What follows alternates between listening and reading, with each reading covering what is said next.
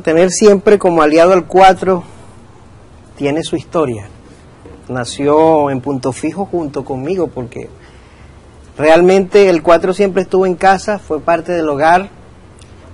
Mi papá se encargó de que siempre estuviera guindado un 4 en las paredes y realmente crecí con él. Visualmente,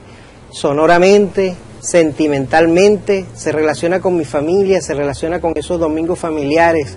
en el campo de Paraguaná, donde la décima, el cuatro y el tambor formaban, formaban aquel aquelarre donde todos participábamos. Realmente un, acto eh, hermoso en, conjunción con, con, la vida misma. Pues. No se puede ligar al cuatro de la vida porque es parte de ella o es la vida misma.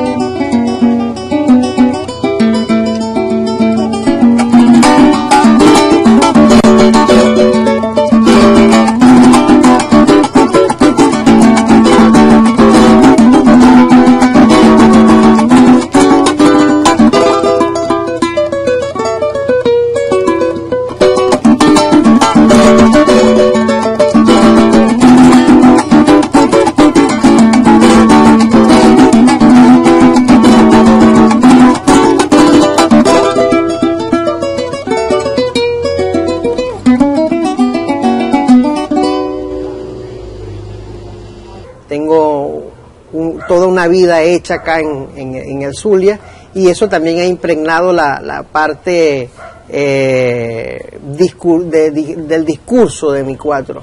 Eh, cada quien, yo pienso que como decía el maestro Andrés Segovia, decía del cuatro de Freddy Reina, de un, de un universo más pequeño, yo pienso que cada cuatrista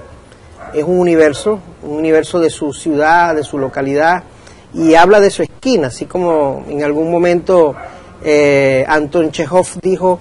de, que si hablas de tu barrio serás universal, yo pienso que parte de ese discurso que cada uno de los cuatristas propone es parte de ese universo que debemos conocer, no es ni el último, ni el definitivo, ni el mejor, cada uno tiene un discurso que, del que hablar. Nuestro maestro, en este caso Freddy Reina, nuestro maestro Jacinto Pérez, han dicho mucho de ese cuatro del centro del país de Caracas, del estado Miranda, eh, de la música que se asemeja a la arpatullera en los valles mirandinos,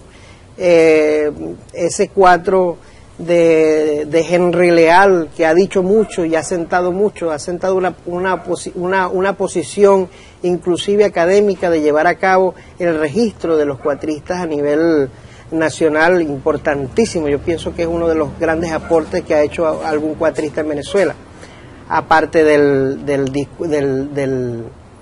del, de la propuesta que hizo el maestro Freddy Reina con, con, la elaboración de, una, de un método para la ejecución del cuatro solista, eh, venido del entendimiento que se tiene sobre las tablaturas antiguas.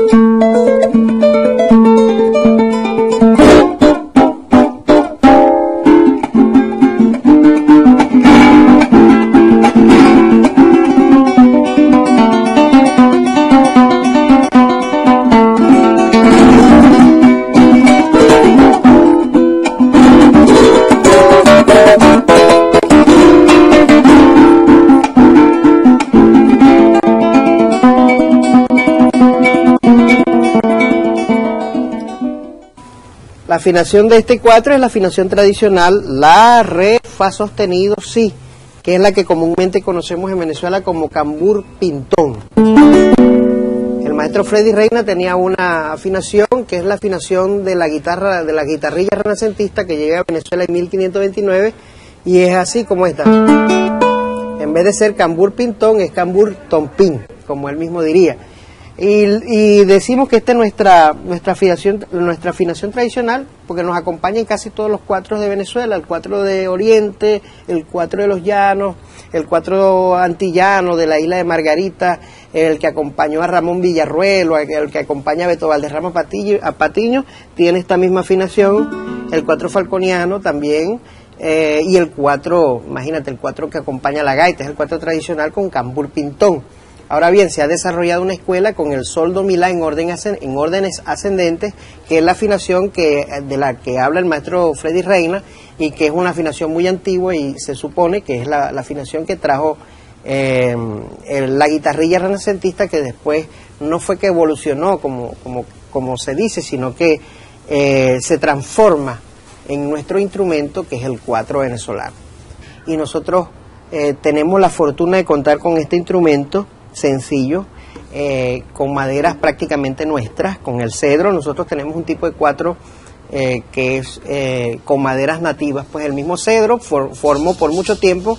el, el, carácter físico de nuestro instrumento, así como el pino.